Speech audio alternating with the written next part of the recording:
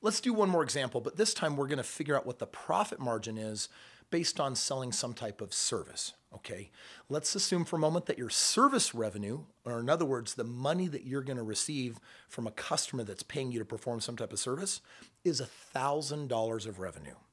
Now, that could be $1,000 for window cleaning, or it could be carpet cleaning, or tree limbing, some type of service. Now, let's take a look at the expenses of the service that you're providing. This is the cost of selling your services, and we're going to take a look at the individual parts of that. The first one is the labor cost. Uh, you're performing a service, which means that you got to pay somebody their time for doing that. And in this example, we're going to assume that to provide the service at $1,000 of revenue takes 10 man hours. So 10 hours at $30 an hour, that's $300. But on top of that, there's some hard costs, right? Whatever it costs for the materials that are being added for the services provided, let's assume that hard costs are $150. And then, of course, just like with the physical product, there are some ad costs for marketing, there's some sales commissions. We're going to call that $200. Your total expenses are $300 to pay a person to do the work, $150 in hard costs, and then there's also $200 for the ad costs and sales commissions. That's a total of $650 of expenses. So let's take a look at the service profit margin.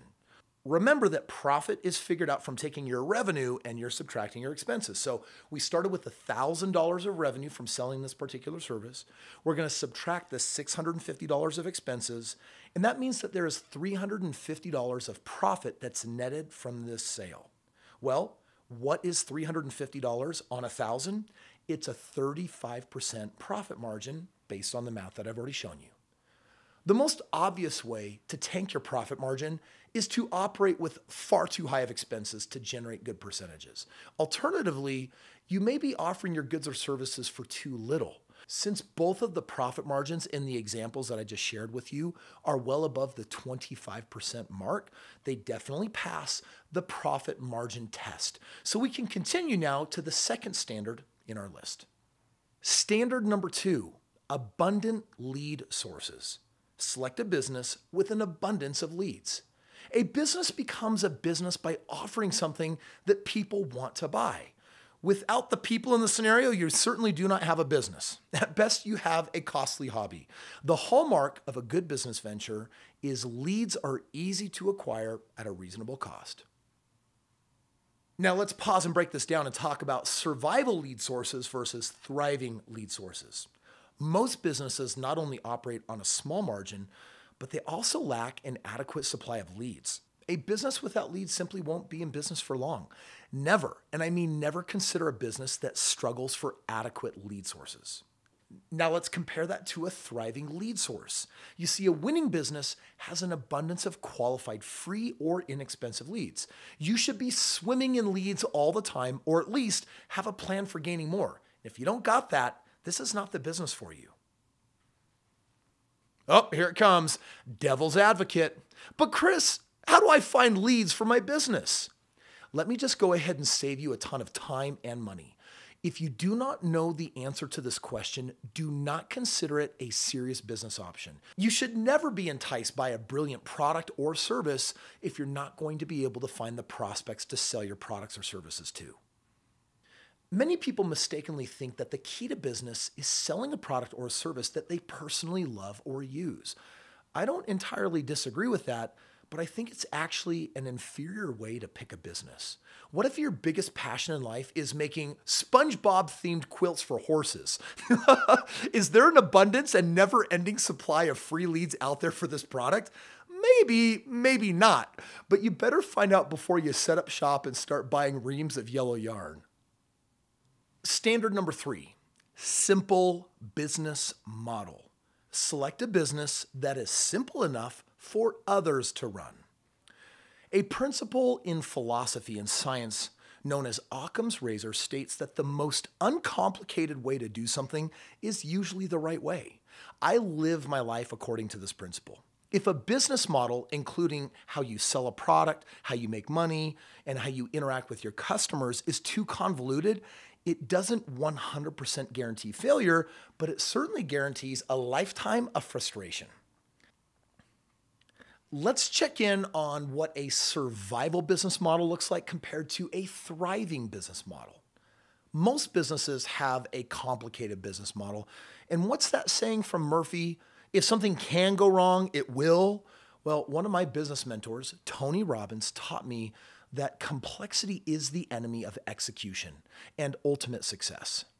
While there are plenty of examples of complex businesses that are renowned for their success, I'm not here to show you how to build a billion dollar tech company with a massive infrastructure. I'm here to show you how to identify multiple simple but profitable businesses that don't require sleepless nights or overtime. Suppose the business involves complex technology or pioneering, as in creating something that's never been done before. In that case, this is a huge red flag for me. In other words, pioneers and trailblazers, they're the ones who go first but they've got the hardest job, and they're sometimes the ones who get lost. That doesn't have to be you. Do not reinvent the wheel on this one.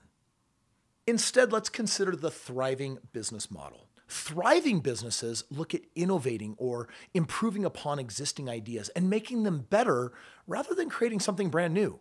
If the goal is to ultimately have a business run itself, then you also need something that's duplicatable. Businesses that are the most duplicatable are so simple that you could bring in virtually anyone to help you run it.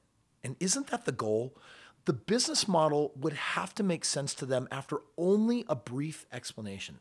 Striving for simplicity is the fastest path to preserving your time while making excellent money on hefty profit margins. Standard number four operations easily delegated. Select a business where you can delegate most tasks. Most business owners will tell you, along with some eye rolls and a few deep sighs, that fulfillment requires a majority of their time. In other words, the amount of time that it takes to market and sell a product is usually much less than the time it actually takes to fulfill on it. So, how do you keep yourself from doing everything all on your own?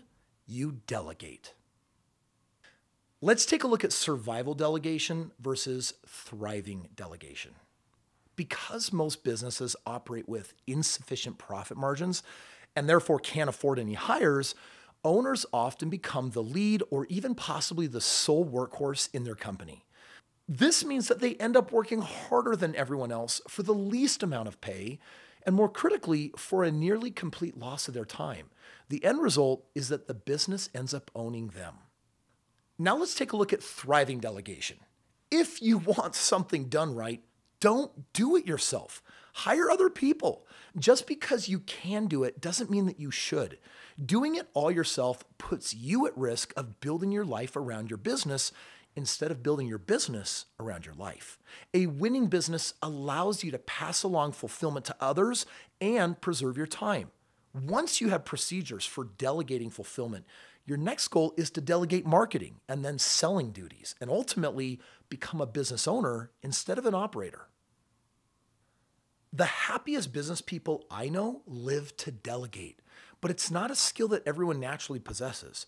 The goal is to own successful companies, not operate successful companies. That is, unless you are prepared to limit your potential. If you struggle to trust others and distribute responsibilities, start the soul searching process now and figure out how to let your guard down enough to let others help you. It's the only way to reclaim more of your time and still run a successful business or side hustle. You own the business, not the other way around.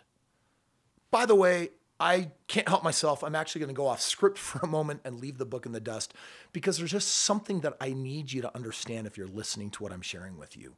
How can you own multiple businesses if you can't figure out how to even run one business and having it run itself? Think about that for just a moment. You see, you're getting all this time back so that you can do it again, and maybe a 10th time or maybe a 20th time. And eventually you're surrounded with such amazing good people. Guess what that means? It means that you have the ability to have multiple streams of income, have products and services that create value for all these other people, and you don't get stuck in the business because it's not built around you. It was never meant to. Standard number five customer focus. Select a business where the passion is for the customer, not the product itself. Beware of the enticement of doing your passion for a living. The most successful business owners fall in love with providing an outstanding customer experience rather than being enamored by their own product or services. It can be a hard distinction to make, I'll admit. This is because there are three primary roles within most businesses. Number one, the owner. Number two, the manager. And number three, the artist or specialist who creates or curates the product or service. The key is to ensure that you're not playing all three of these roles. All right, let's talk about survival passion versus thriving passion. Most businesses are conceived by people who have such a passion for a particular product or service that they turn it into a living. While passion can be a massive benefit to a business, it can also be a curse. A misplaced passion for products and services over the customer will ultimately trap you in a never ending rat race that you cannot escape from. Actually, it isn't really never ending. It usually ends with your demise and also the death of your business ownership and your dreams go up in flames.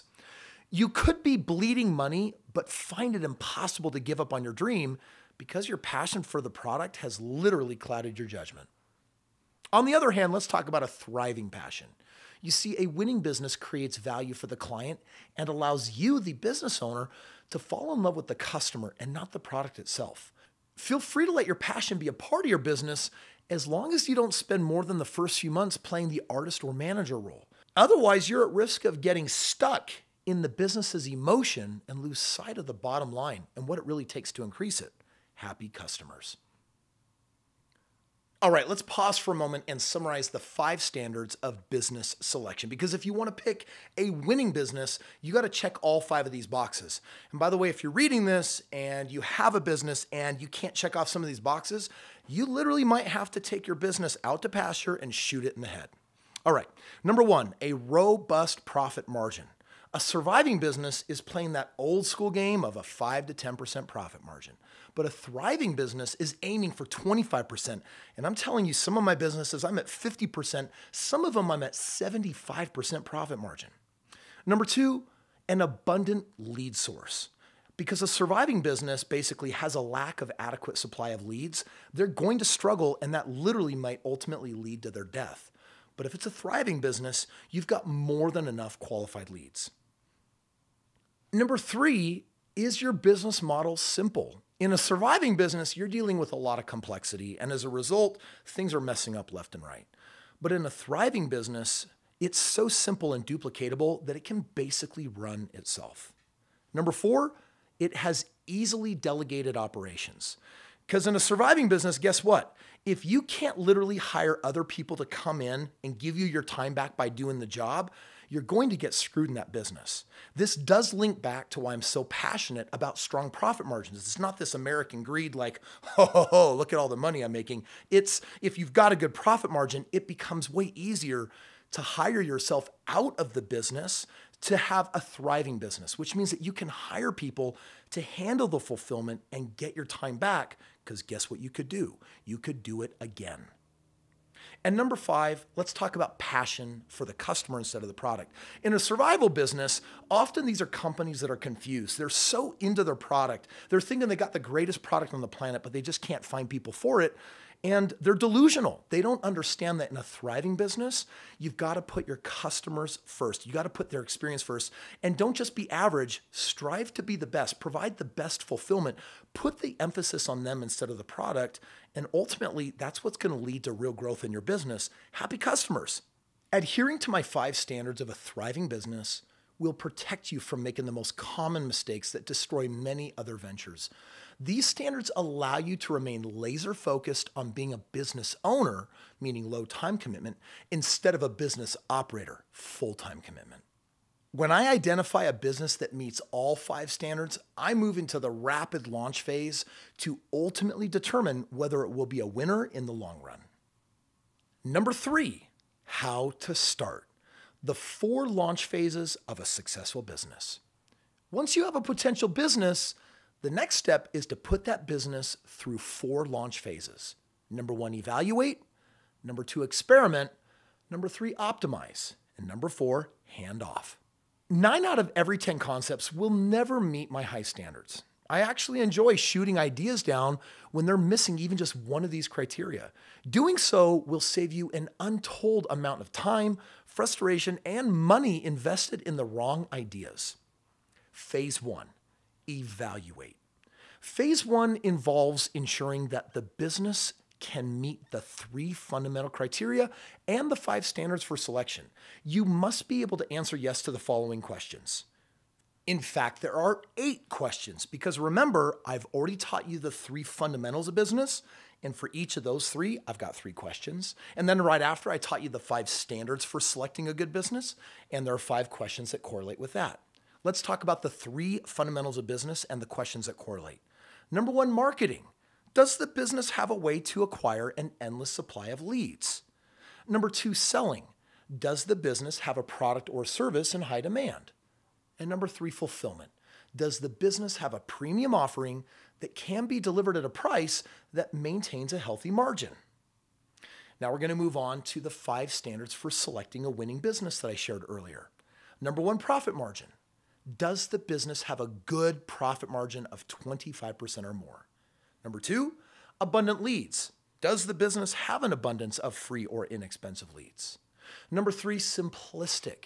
Can the business run itself and is it duplicatable? Number four, delegatable. Does the business allow me to hire others to do the fulfillment so I can reclaim my time and get on to other things? And number five, proper passion. Does the business create value for the client and place their needs even above the product? Well, as you're reading this book, you might actually be evaluating your own business or a business that you're considering buying or starting and ask yourself, how does your potential business idea stack up to those eight questions? If you can respond yes to all eight of those questions, then proceed to the second phase. Phase two, experiment. Never obligate yourself long term to a business until you can test it before formally committing. Most simple business ideas can be tested and proven or disproven within just 30 days. Maybe you think 30 days isn't long enough to determine whether a business will be successful or not, but in my experience, 30 days is long enough to spot red flags. During that time, you can get a glimpse of what the process will entail from a profit margin and time commitment standpoint. Okay, Kris, so uh, how does this experiment work? Number one, First, select a revenue goal and corresponding net profit margin that you think is achievable in the next 30 days. Number two, then work as diligently as you can for a month to hit that goal. And number three, if you haven't reached 50% of that goal of what you thought was possible in 30 days, then scrap that business idea and move on to the next.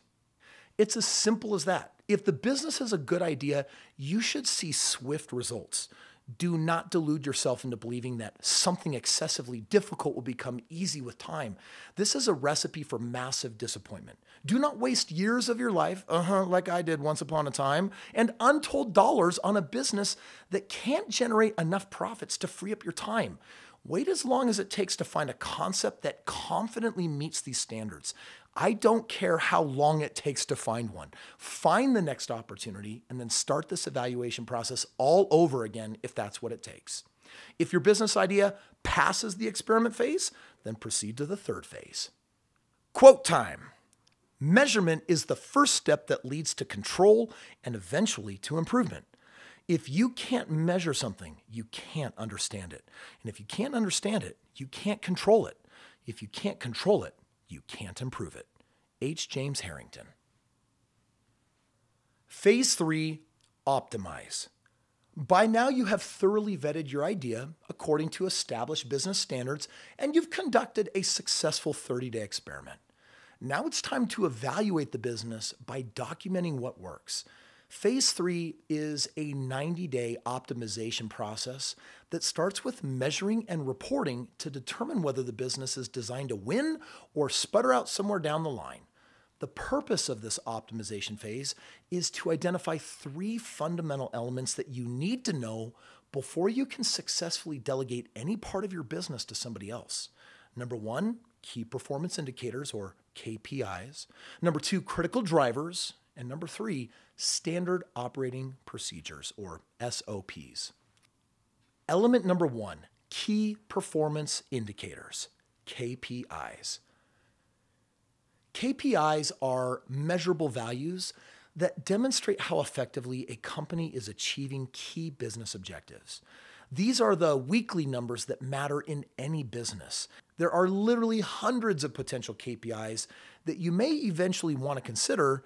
Still, there are only three KPI categories that really matter, and they just so happen to be the same as the three business fundamentals marketing, sales, and fulfillment.